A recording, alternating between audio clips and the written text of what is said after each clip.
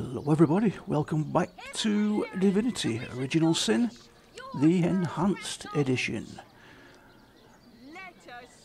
Ah, quite, quite, not quite sure where we left off last episode, so let's have a quick look, shall we? Uh, what are we up to? Right, we need to find the ship with sailors' jobs, I remember that. Fabulous 5, we can't do that yet. Uh, Blood Feud, we can do that, I suppose. Source Hunter's Journey. Right, okay. Not in the mood for cheese. The murder, where are we up to? Excuses more holes than a slice of this fine Gorman bear. Right, we need to go to see Arhu. First of all. Right, that should be easy enough, I think. Let's head this way.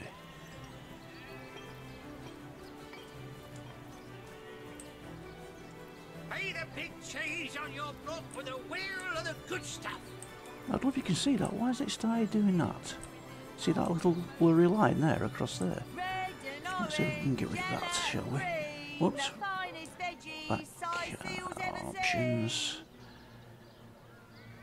Video. Let's try that, see if that shifts it.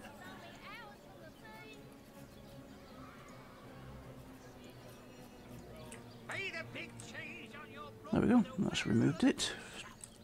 What that was. Uh, this way is it? Yeah. So we need to head our way down here and talk to Arhu. And we can also pick up another uh, companion, if I remember correctly. Yes, indeed. Do you? Come on now, I pulled her off you before she could do any real damage. That's it, troops. damage? Are you Train up while joking? you I've can. been mauled. I'll be the next disfigured for orcish life. strike could land at Ah, any come on with the dramatics. It's not as bad as all that. Let's talk hey, to this guy. who's that then? Come on, stand where my good eye can see you.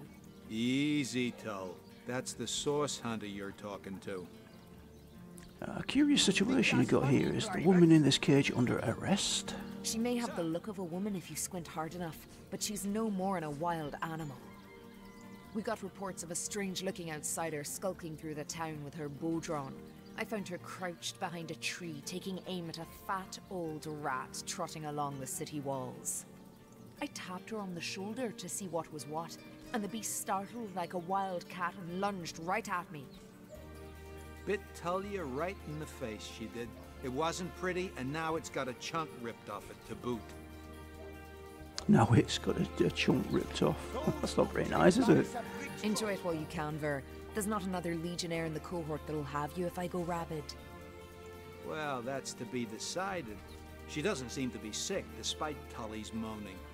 We can't keep her here forever, but we can't well send her into the wilds again, can we? Uh, perhaps it'd be worth taking this treasure under our wing. She's likely to come in handy if we can trust her to watch our backs. We're here to hunt source, not play babysitter. No, we want to. We want to. After all, a fearless hunter might prove quite useful for our investigation. Well, that's a relief, ain't it? We found a good home for her after all, Tull. Heed me, Source Hunter. She's not good for anything more than cannon fodder. And don't turn your back on her when she's got that bow within arm's reach. Okay. And this is Bear Daughter. Okay. Source Hunter, I have heard tales both grand and terrible about the world of humans. I myself was caged one moment and freed the next by your, our kind. In Home Forest, every creature acts according to the nature of its kind. Birds frighten easily, badgers fear little. But amongst men, there are no guarantees.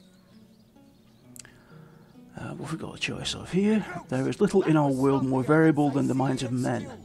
It is the source of a great beauty and much despair, and all of it uniquely human.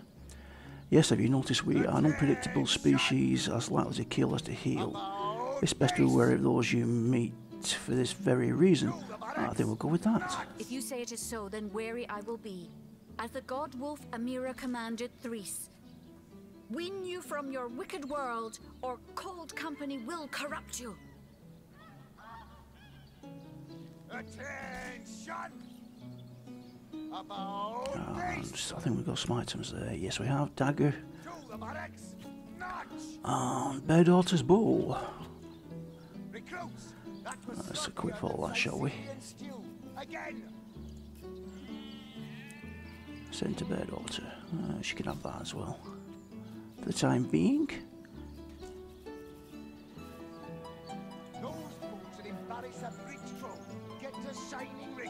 Sorry, sir. Oh, she doesn't need that. She can't use it. Uh, what else we got? Treat poisoning. We can move that over there. Range power stance. We'll leave that over here. I think. Yes. Which has Sorry, also got all these, and I think Ogre's got some. Yes. Well, not Ogre. Roderick. Centre Bardo. The Bardo. Bardo. Bear daughter. That's what I called on the last uh, run through that I did. And she can also have lockpicks and trap disarm c- toolkits, I think. Uh, I'll send that to her in case that's good. And that.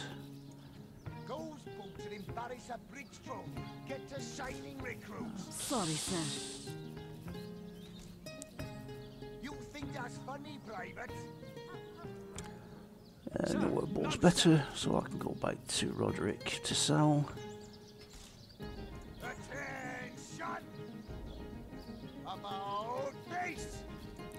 Type. To the barracks! Notch! I suppose I can move that to there and that to there at the moment. She's only got those skills, so we can uh, add some of these onto this screen. Static cloud, steam cloud, I'll have stunning arrow. Barry's a bridge troll. Get to shining recruit. Really don't think we need those on yet.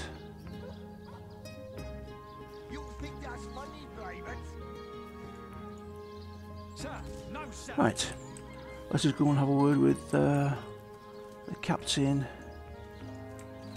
and Arhus, whatever he's going to called. Arhu, was it? Um, do I want to? Yes, I want to get rid of some of this stuff that he's got here as well. So,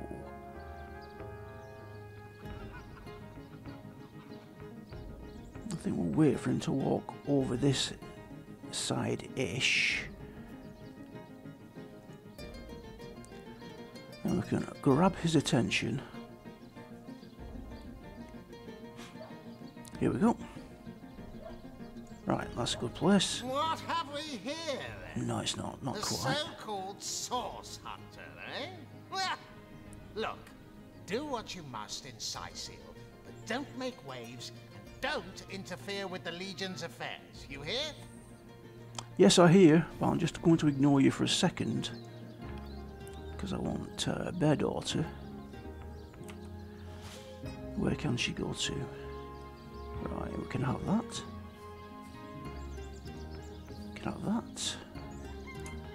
What else is there? Key? Potion bottle, potion bottle.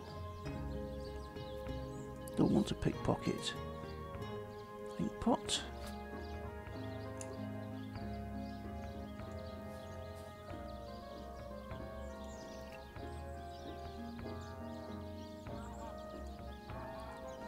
Ooh, Blank Earth Skillbook, that's a good one. Nothing there.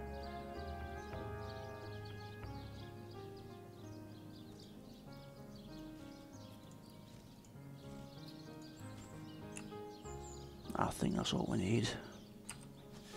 It is. Right, back to the conversation. Let's discuss Jake's murder. Gods above! Some politician snuffs it and everyone's in an uproar. Ridiculous! I told that wizard brat of an Arhu not to bother. But he just had to send for source hunters, didn't he? Bloody magicians. They see a pigeon poop and think sorcery's afoot. Nevertheless, I want to be kept in the loop. Understand? I am in command of this town, not Mayor Cecil, not Arhu, and definitely not some hotshot source hunter. So investigate Jake's death if you feel so inclined, but report back to me the moment you discover something out of the ordinary. The scene of the crime is over at the King Crab Inn. You can tell the guard you have my permission to enter. Now off with you! Wow. Esmeralda is Jake's wife. Well, well, widow. Everyone in town, down to the crabs on the beach, is convinced she killed him. Now, the girl has the reputation of being a flirt. There is that. But that doesn't suffice as evidence, wouldn't you say? Or do source hunters rely on hearsay alone, perhaps? That certainly would explain some of the cock-ups you lot have made in the past. What? You're going to stand there and claim with a straight face your order never wrongly tortured and executed anyone? Hardly. But I won't stand for such nonsense.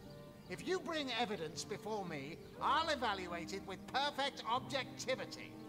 The Legion relies on reason, see? Not idle superstition. Wow, he's really got a poker up his bum, hasn't he? Uh, additional questions. If you must. Bravo! Figured that one out, did you? I haven't been stuck here for two years because we're being besieged by fluffy kittens, you know. Those brain-feasting freaks out there keep on coming. And it takes all the sword arms and all of Arhu's half-baked contraptions to keep them at bay. Keeping them at bay, that is all we do. Were that I could break their backs once and for all. Wow. Oh. he really is full of himself. We are the pride of Rivellon, to be found and to be seen everywhere. We don't hide in the dark and lurk in corners like some I could mention. No, we protect the civilized from the barbaric, and we do so impeccably. I'd say they're looking for weak spots in our defenses. They can't make an attack over land for fear of Arhu's magical machines, so they're trying their luck by sea. They won't succeed, though. Not against the Legion. Arhu tells me he suspects a sect might be at work around Cyseal. Yes, and he also spends most of his time in the guise of a cat, licking God's knows which body parts. Sects, sorcerers. He'll be seeing flying carpets next. Well, I really hate to ask this, but how are you enjoying Cyseal? How am I enjoying it? Are you spoiling for a fight, Hunter? Are you? Cyseal stinks of fish, reeks of orcs, and on a good day, the wind disperses the stench of decomposing corpses. I can't remember the last time I had a proper piece of steak, and by now, I retch at the mere sight of sardines. So in conclusion, I am not enjoying Cyseal. Wow. I think when I'm about level 20, I might come back and slay you, you horrible little man. Right, I'm glad I robbed you. Let's head to Arhu. Have some civilized conversation, shall we? Oh, good, he's coming over here. How can I help you, my friend? And we'll rob you blind as well, shall we? Let's have a see. Uh, here, smelt it, dealt it. Don't empty bottle. Painting of a pig. Love that. Controller manual, we'll have that. I've got my eyes on the prize. Magic unlock scroll. Yes. Secrets of the scroll. Secrets of the Scroll Volume 2. Absence of the Seven Gods. Uh, we'll have it because we'll sell it. Inkpot. Take that for crafting. I don't think we need anything else. I'll check his desk. Ooh.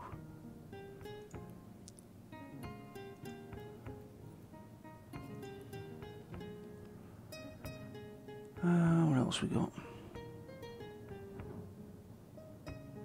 That seems fine. Join your companions. There we go. Let's talk about Source Hunter business. By all means. Of course. I hope your investigation fares well. What happened the night of the murder? I can but piece together what few morsels fell from the grapevine into a rather disappointing meal, I'm afraid. They say a woman arrived in the King Crab Inn sometime after midnight. She retired to a room on the ground floor where she was soon joined by a man who had been nursing the same cup of wine for hours. I say man and woman because both of them were cloaked and recognized by none. About an hour later, another figure arrived, headed for the same room. Soon after, a terrible commotion erupted and the thundering light of magic was witnessed by the few remaining patrons. It took a while for the landlord to pluck up the courage to enter the mystery room. When finally he did, he found Jake there, dead. How and why he came to be there, no one knows. But I had a good look around the scene of the crime before the Legion barred anyone from entering. The traces of magic I felt were vile. Source, no doubt. Who, in your opinion, are the suspects? I myself have none. Even though the rest of the town has already mentally tried and convicted Jake's wife, Esmeralda. Now, it may well be established that she is, in fact, the guilty party. I'm not claiming that I'm certain she's innocent, but let's just say that if I really thought this murder case would be so very easily resolved, I wouldn't have sent for source hunters. Is there more you can tell me about the strangers that seem to be in league with the orcs? I can't say much more, but that they're madmen. All the more dangerous to us because of their alliance with what should be a natural enemy. You won't see me teaming up with a terrier in a hurry. How about you tell me a bit more about yourself, Arhu? But certainly. What would you like to know? Who, or rather what, are you? Oh, I am but a wizard, a guardian of man and beast, and indeed I am both. My body, like any other, is bound to temporal decay. But my spirit is a speck of light that shone forth from the eternal sun that is the cosmic soul. My task upon this earth is to protect the heart of nature, the very antithesis of which is the intrigue spun by demons and directors of the dead. Hence my involvement in Cyseal.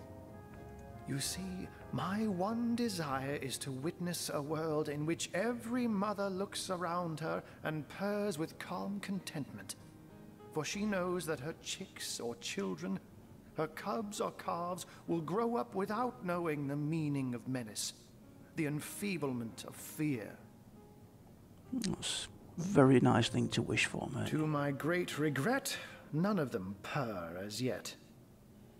Uh, do tell me a bit more about this cat trick of Oh, yours. but that's not a trick. It's a blessing. Or does it surprise you that I enjoy taking a feline guide? Such magic is a gift, Hunter. To tread upon the realm of instinct, even articulate speech, perhaps humanity's greatest asset, cannot give expression to something so inextricably innate. To be out in the night, to stalk on silent paws and hunt with only the moon as your witness. You couldn't possibly imagine the thrill. But of course, it's handy to speak in more than meows. And I couldn't brew potions or make machines without opposable thumbs, this I freely admit. Let's just say I have found a way to enjoy the best of two worlds. Hasn't he got a very soothing voice? Isn't it dangerous to polymorph like you do? What if you get stuck in another form? Oh, that'll never happen. Granted, a witch could make the polymorph permanent if she'd enchant me in my cat guise, but I'll just have to be careful around witches, won't I? I'm my own wizard, you know, and I don't intend to become anyone's familiar. Okay. And what might those be? Uh, someone mentioned one of your failed experiments. One of them failed? Who is the mongrel that dares to question my engineering expertise? I take it the mutt in question was referring to the Sparkmaster 5000. It isn't failing, it just became. well, it became self aware. Frightfully annoying when that happens. you know what? Here's the remote access device with which I used to control it. There's a manual for that somewhere around here, too. Yours, if you can find it. I really should invite Victoria one of these days so she can help me organize my mess of a library. What can we do about the undead that threaten Cyseal? Those who are raising the dead dwell among us. They simply must be.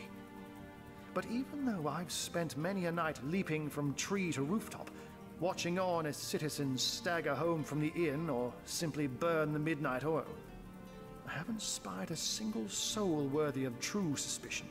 The enemy is wily.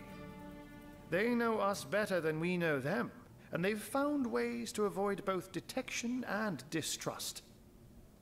And yet, I am somehow convinced that you may succeed where the Legion and I have failed. Call it instinct. Uh, you seem to have a bit of an orc problem, do you not? You have a flair for understatements, Hunter. I'm sure they are but a minor nuisance in the eyes of a born warrior. But to the Legion, they are green skinned death incarnate. Until they conclude what mischief they intend to see through, or less likely, they are conclusively defeated, we can but bar the gates and hole up like mice while the cats are on the prowl. How do you design those magical ballistae of yours? Oh, a mere trifle for one with the intellect of a feline and the engineering skills of a human. You basically construct a classic ballista, add a 100% legally obtained self regenerating source of destructive magic to it, and Bobcat's your uncle. Okay, let's. I don't think we can afford anything, but we'll have a look what he's got to purchase. Oh, he's got some uh, skills that we might need. Bless. That's level 6, don't want that. Boulder Bash. Fortify level 3. We'll have to come back here when we've got some money, I think.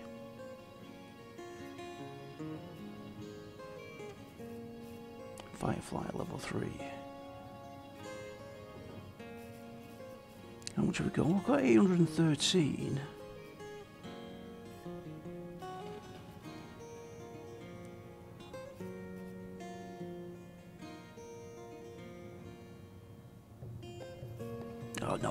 We'll, check. We'll come back again sometime, I think. Yes, we will. Okay, I'll take my leave.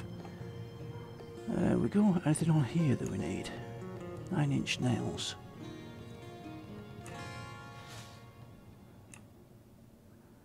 Trap disarm cool. Whoa, whoa, whoa. Oh, If that- only the popular girls from the Source Academy could see how edgy and dangerous you've become.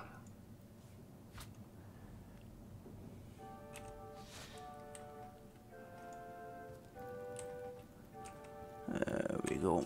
And I think we can combine that. It's arrow shaft. Branch.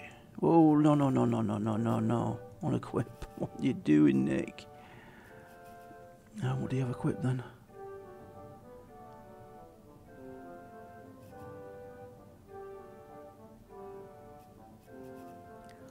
Wooden earth stuff. Equip. Must have been that. Yes. No, combine. Combine with. Nine inch nails. And ah, it gives us a weapon. Yes. I don't think there's anything else we can do. No. A new recipe. Right, let's head downstairs.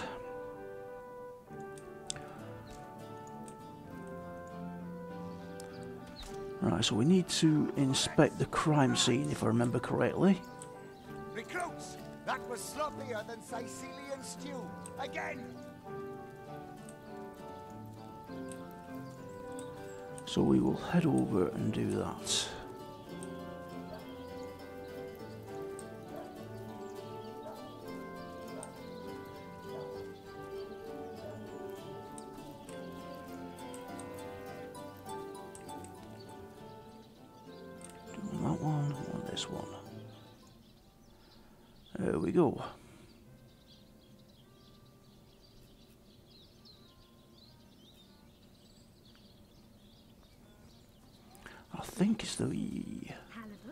Merchant that's upstairs in the inn that has the witchcraft stuff. Have we talked to that cat yet? Never saw you in the king crab before. You're welcome to scratch me behind the ears if you like. I won't scratch back. I am Unsinkable Sam. At least that's what they call me around here. Used to be a ship's cat, but the clipper I was on sank, and I was the only one to wrestle himself free from the waves. The people here were kind and took me in. Been the king crab's foremost patron ever since. Tell me about the ship you were on. A magnificent ship she was. Used to belong to a pirate, I was told. Unlike me, she didn't prove to be unsinkable, though. We hit the cliffs right neath the lighthouse. Not very apt a name for that building, I must say, for no light was shining from it. The moment I hit the water, I writhed around like I would on a hot tin roof. By some miracle, I managed to reach the beach, covered in kelp and smelling worse than a fish's funeral parlor.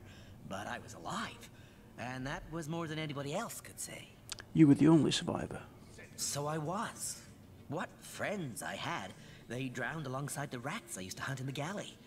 And there I was, all alone. Not that I have it bad here, mind you. I've milk and fish aplenty.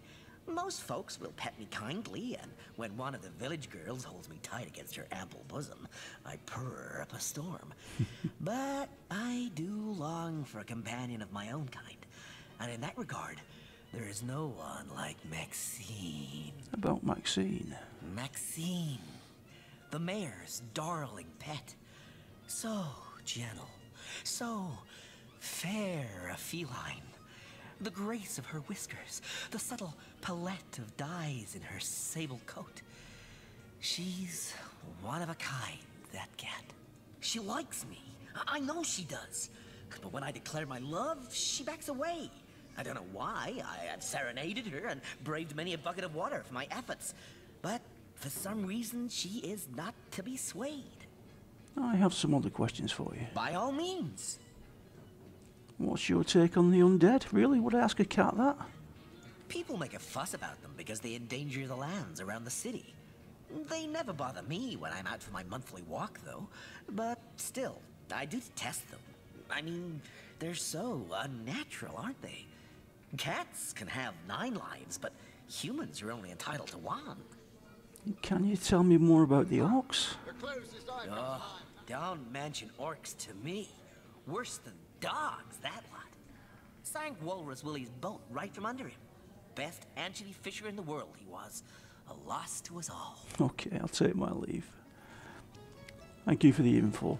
I'm not going to talk to you because you're one of the famous five and so are you, and you're very annoying, Don't be seduced, as you are.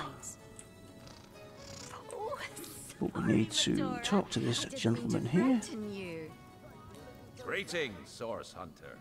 I don't mean to hinder your investigation, but I can't open this door for anyone who hasn't received Captain Aureus' explicit approval. I've spoken to Aureus. Let me inside, please. Not exactly the friendliest bloke, the captain, is No, he's not. He's an asshole. Well, your reward for getting your ear chewed off is a waltz through the town's finest magical murder scene. Uh, thank you very much.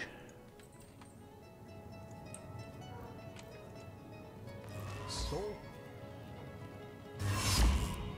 Ouch.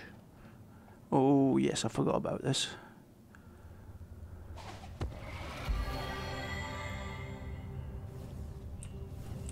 What? What happened? Is this a dream? I don't think so. That stone. Somehow, it sent us flying into the stars. I think it might be more frightened than they sound.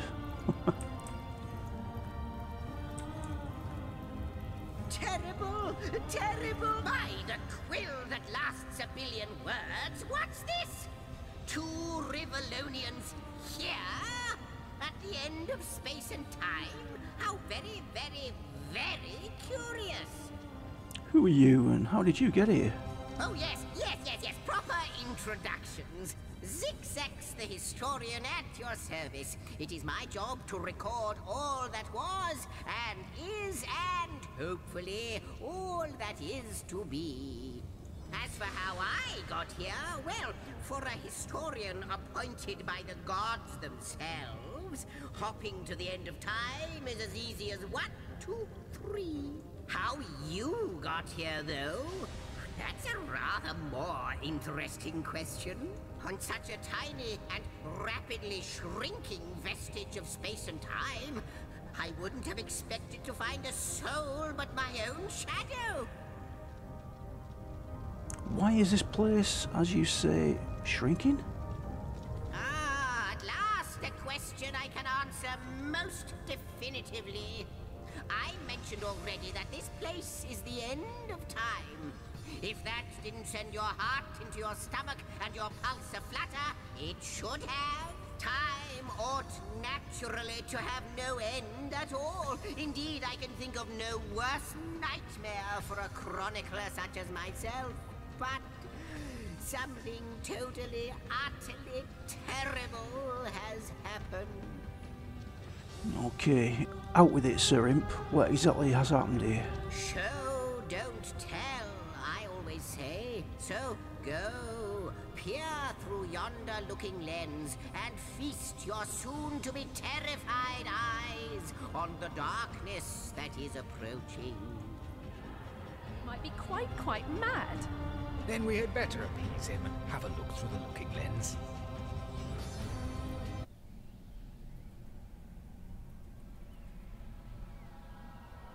Ooh, dragon.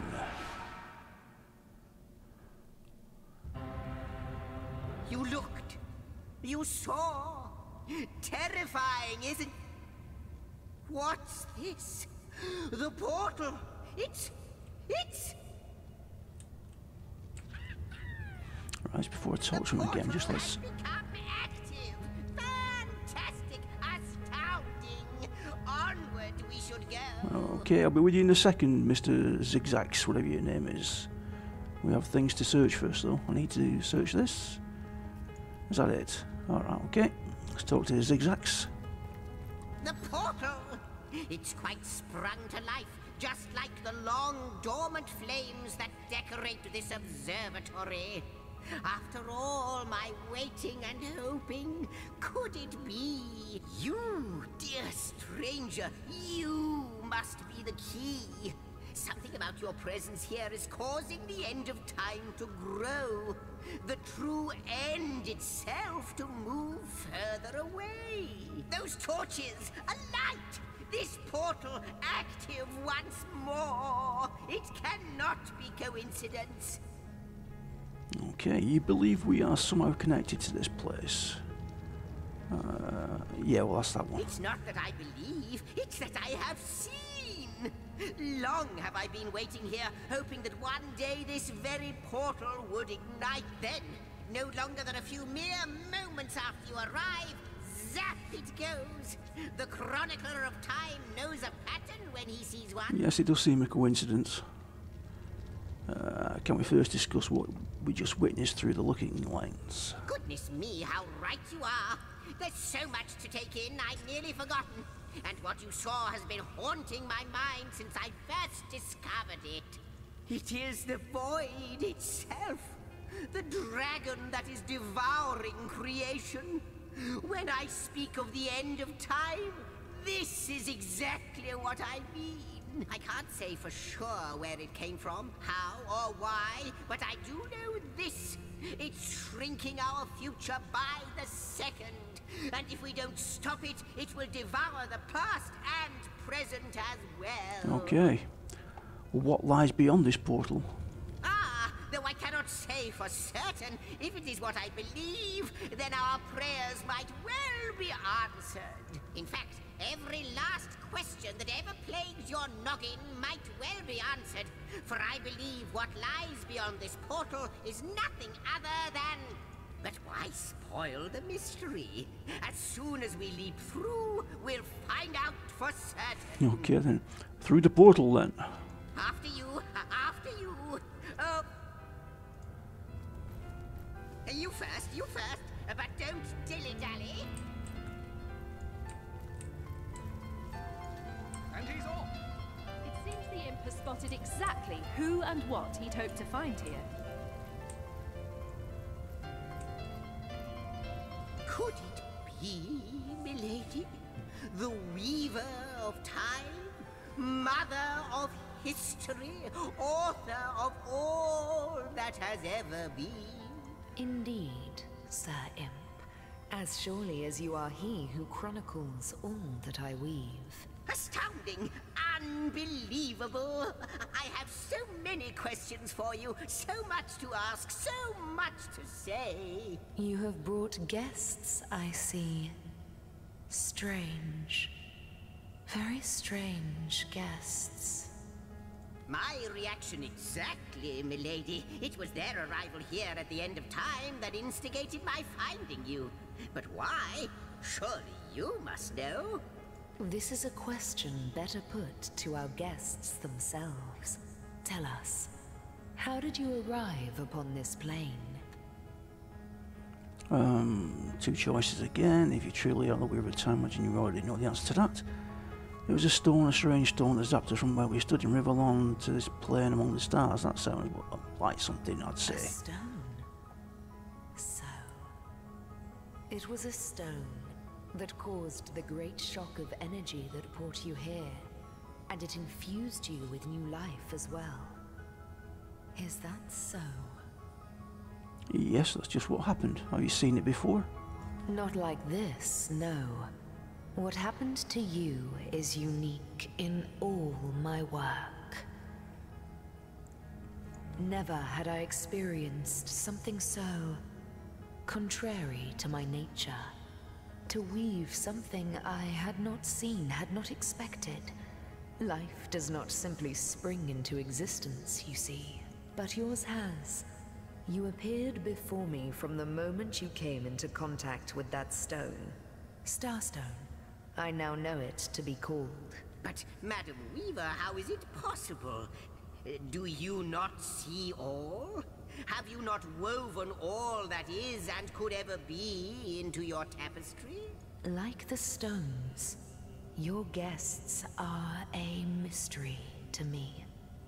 I see them before me in this world, but their likenesses appeared not upon my tapestry until they revived the stone.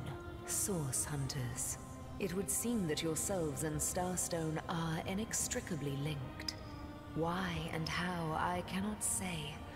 But I do believe that finding more stones will reveal to me who you yourselves truly are. What is this Starstone exactly? Where does it come from? Starstone is not what it seems, Source Hunter. Its true nature must be part of a greater secret. A secret lost, even to me. Do you see what violence my work has suffered? What wounds lay upon the tapestry of time? Mysteries of all time, gaps in history. Oh, how they've tormented me for eons. It would appear that Starstone transforms at your touch, granting me new thread by which to mend the tapestry. Thus, it restores time itself. I see. What the void would shrink, Starstone restores. Yes.